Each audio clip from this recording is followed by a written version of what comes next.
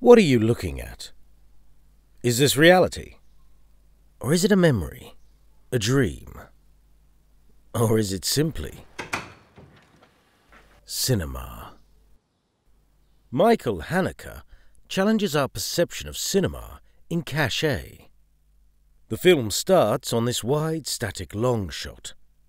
We think we are looking at reality, a moment happening in real time. But then he does this. It is revealed that the shot is not reality, but a recorded video of George and Anne's home. They are being stalked and surveilled by a mysterious person who is leaving videotapes at their front door of long, static shots of their home, like this one. We can no longer trust the director, and moving forward, we will question every static long shot. Is this real?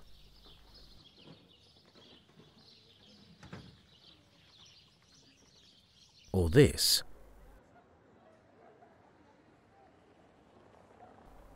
The film employs realistic conventions like deep focus, so that the audience will equate the film with reality. The world mirrors our own. He then takes it even further when he uses those same documentary conventions to convey George's dreams and memories.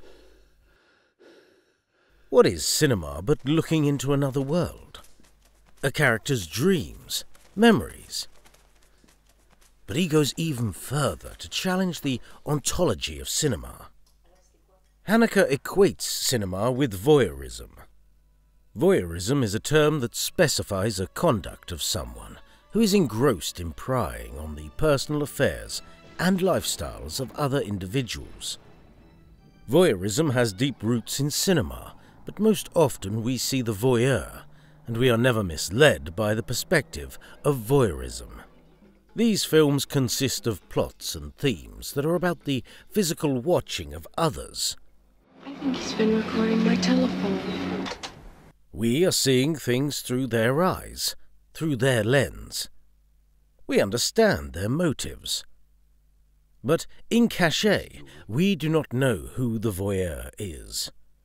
Instead, our perspective is through George. We see his memories, his dreams.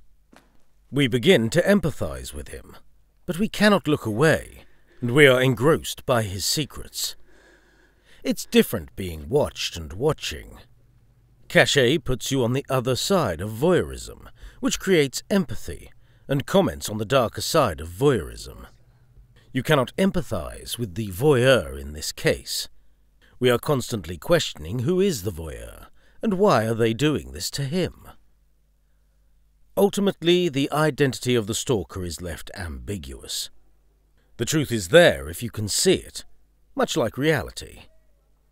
Haneke does this to challenge the connection between cinema and voyeurism. He is asking, who is the real voyeur here? Is it Haneke? Or is it us, the audience?